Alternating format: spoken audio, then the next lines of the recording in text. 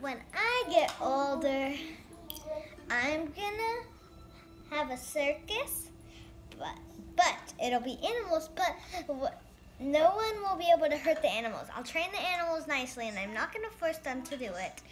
And when someone is hurting the animals, I will fire them immediately. And if I don't do that, I will call the cops because I want animals to be.